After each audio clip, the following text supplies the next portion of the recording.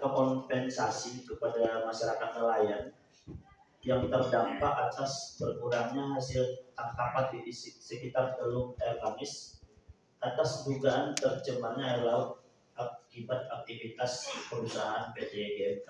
Jadi masyarakat menduga air laut ini tercemar karena beberapa bulan terakhir pengaduan-pengaduan itu mengatakan jumlah hasil tangkapan itu berkurang drastis sehingga mereka harus melaut lebih jauh lagi di luar teluk-teluk air Kamis tentu itu membutuhkan biaya yang besar dan hasil tangkapan juga tidak seperti yang diharapkan.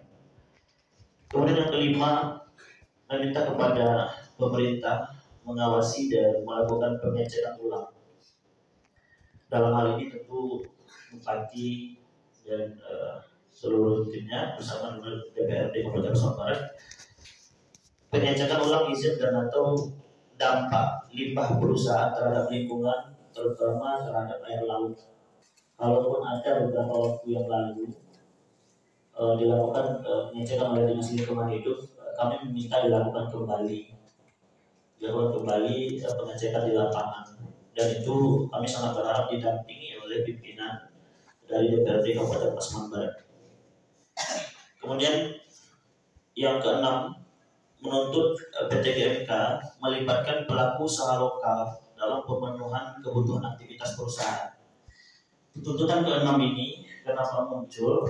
Karena masyarakat merasa selama ini eksistensinya tidak pernah dianggap bapak-bapak ada memang orang-orang yang dilibatkan tetapi masyarakat merasa itu tidak mewakili mayoritas terutama masyarakat nelayan sehingga mereka-mereka yang dilibatkan bersama PT GMK ini rasanya sangat terbatas sekali. Walau kalau misalnya PT GMK itu bahasa sudah mewakili seluruh masyarakat tapi ini yang dirasakan oleh masyarakat. Artinya kita mewakili masyarakat nelayan e, merasakan hal tersebut dan menyampaikannya di sini, kita tidak pernah dilibatkan. Malah kita merasakan limbah yang yang yang diduga gitu ya berasal dari PT GMK. Makanya kita ingin dilakukan pengecekan ulang. Itu tuntutan enam, enam tuntutan. Kemudian apalagi saya mengikuti uh, rapat ini eh, dan rapat bulan Juli yang lalu. Uh, bulan lalu itu dan bulan Juli itu 2022 itu uh, di, dihadiri oleh masyarakat dari Jawa Penantian yang didampingi oleh uh, Ormas atau LSM Penjara LSM Penjara saya hadir waktu itu juga kapasitasnya sebagai pemuda di Kanagaran Manis tuntutan mereka waktu itu ada ganti rugi yang tidak cocok gitu ya. Kemudian uh, apalagi mereka tidak disebutkan sebagai uh, bagian tenaga kerja yang dibutuhkan di situ. Kemudian juga uh, pemakaman mereka itu terbelah uh, karena aktivitas GMK karena izin GMK berada di sana. Namun waktu itu uh, semuanya sudah dijawab oleh PT GMK nah berbeda dengan kronologi pertemuan kita hari ini karena saya mengikuti dari A sampai Z walaupun saya tidak terlibat di lapangan aksi-aksi Pokemon dan memang banyak beraktivitas di kota Padang. Awalnya adalah uh, surat terbuka yang dilayangkan oleh masyarakat nelayan di Air Bamis melalui media televisi lokal dan beberapa media online yang meminta keterbukaan uh, dan mempertanyakan apa itu PT GMK sehingga pada ujung tombaknya mereka ingin pertemuan dengan perusahaan ini atau pimpinan perusahaan tetapi ternyata yang mereka rasakan adalah apa yang tertulis di waktu tuntutan itu. Maksudnya bisa salah satu poinnya mereka mengatakan kami hanya tahu PT GMK ini melalui TV saja, melalui media sosial saja, atau hanya sekelompok orang saja. Ternyata setelah mereka menuntut seperti itu, PT GMK menurut masyarakat itu juga menjawab melalui media sosial saja. Kalau salah antara news, antara ya, atau apa nama medianya. Saya mohon maaf kalau tapi saya nggak lupa. Yang pasti ada berita itu, entah itu klarifikasi atau pernyataan e, jawaban dari e, ada salah satu media yang memberitakan itu. Nanti kita sama-sama kita telusuri akal medianya. Saya lupa.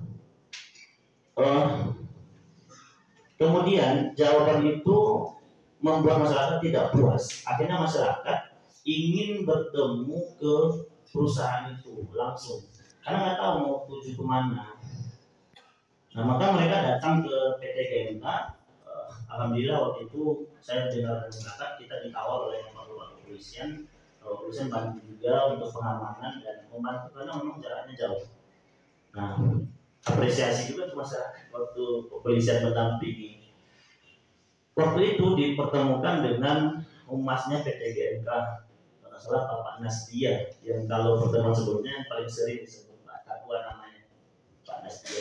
Ada kesepakatan kita sudah lihat kesepakatan itu. Salah satunya akan dilaksanakan pertemuan gitu, ya. Laksana tetap untuk masyarakat pertemuan. Akhirnya beberapa waktu nggak ada lagi tuh, nggak ada pertemuan terjadi. Yang ada terbitnya surat yang dibacakan oleh Bang Aidil tadi, Pak Aidil tadi, dari uh, lembaga di internal negara kami yang pada intinya masyarakat memahami ini mendukung PT GMK, mendorong PT GMK melakukan aktivitasnya, mempercepat aktivitasnya dan melakukan uh, penalti atau bahkan sanksi yang kalau di sini saya ada indikasi pidananya terhadap anak cucu ponakan yang diduga itu tidak mewakili masyarakat Bangis dan diduga menyebarkan berita bohong. Bahkan media juga di, di, di, di dikait-kaitkan di sini saya tidak langsung menanggapi ini tapi sudah saya pelajari dan kita dapat pula dari uh, masyarakat ternyata surat yang sama tidak hanya diterbitkan oleh kan juga diterbitkan oleh Pak Mus. Isinya sama. Apanya sama? Poinnya sama. Apanya? Tuntutannya sama. Arahnya sama. Dicabut terbitan juga oleh wali nagari sehingga uh, saya mengkhawatirkan surat seperti ini uh, tentu merusak demokrasi kita di negara Bangis dan saya sangat berharap ini selesaikan dengan baik. Dan Pak Pak Bahar ini selaku Elkam uh, perihal surat ini tolong nanti Pak diberikan evaluasi juga atau tanggapan. Karena kalau dibaca suratnya saya pribadi merasa ini uh, tidak pada tempatnya. Dan ini cenderung kepada uh, memperuncing perbedaan-perbedaan pendapat dan golongan di Erganis. Nah, setelah surat ini keluar, masyarakat berniat lagi untuk aksi ke BMK, kembali untuk minta pertemuan dengan pimpinan. Tetapi ada uh, Forkopimca kita meminta pertemuan di, di Aerobamis saja di kantor wali negara, Pak. Akhirnya dilakukan di waktu itu tetapi pihak PT GMK hanya diwakili oleh Pak Alamsyah dan ketua kan tidak ada uh, Bamus hadir Bamus tidak ada wali negara ada wali negara tidak ada. Karena dilaksanakan di kantor wali negara. Yang ada dalam camat ini membuat masyarakat semakin uh, runcing kecurigaannya. Makin uh, aneh pemikirannya untuk hal-hal yang mereka khawatirkan. Ada ada ada persekongkolan begitu, ada dugaan persekongkolan. Atau hanya mereka saja nih yang tahu, yang boleh tahu tentang GMK dan GMK juga merasa uh, sudah selesai dengan urusannya karena diselesaikan oleh Forkopimda. Hal yang seperti ini akhirnya masyarakat masih normal, Pak. Masih normal tuntutannya. Akhirnya kita kita diberikan pertanyaan, mereka menginginkan surati DPRD. Di DPRD kita bertemu. Semoga saja di DPRD tidak ada yang eh, yang mangkir gitu. Karena kita sangat menghargai DPRD dan saya yakin Pak Tabua dan eh, apa namanya kan Bamus dan kita juga menghargai. Ini hari ini yang terjadi Pak. Inilah yang terjadi hari ini. Artinya masyarakat hanya ingin bertemu, jelaskan pertanyaan-pertanyaan mereka, tuntutan mereka juga sesuatu yang datangnya dari uh, pihak yang perpanjangan tangan dari PTGM. Kemudian tambahan uh, yang ingin saya sampaikan uh, selain tuntutan-tuntutan tadi bahwa beberapa PT GMK seperti yang kita pertemuan bulan Juli, saya pernah katakan Pak Mahar waktu itu sampai mau bicara langsung kepada Pak Tarot. Kita kurang tersosialisasikan tentang GMK ini.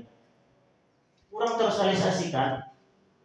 Saya nggak kenal yang saya tahu Pak Wah, Pak Alamsyah, kemudian ada satu yang saya simpan nomornya, itu pun saya lihat storynya.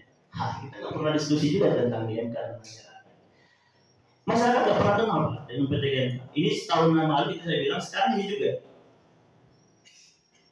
Kemudian ada pula kelompok uh, sekelompok masyarakat uh, di sana ada tokoh-tokoh kita membuat uh, izin uh, aktivitas di pelabuhan mungkin ada kaitannya dengan GMK ini semakin membuat masyarakat semakin terasingkan eksistensinya. Nah ini ini uh, semakin aneh dan tentu saja membuat masyarakat ingin bertanya lebih tak dalam dan GMK menjawab lebih lebih detail. Terakhir, uh, saya sangat berharap semua pihak yang hadir di sini berbicara dengan dingin, tetapi tujuan masing-masing pihak sampai. Karena jujur saya saya malu uh, hadir, tapi saya juga malu kalau nggak hadir sebab masyarakat sempat nelpon-nelpon karena ada persoalan sebenarnya yang bisa kami selesaikan di nagari kami. Tetapi harus kami bawa ke bapak pimpinan. Ini perihal transparansi dan uh, apa sih uh, peran GMK dan hubungannya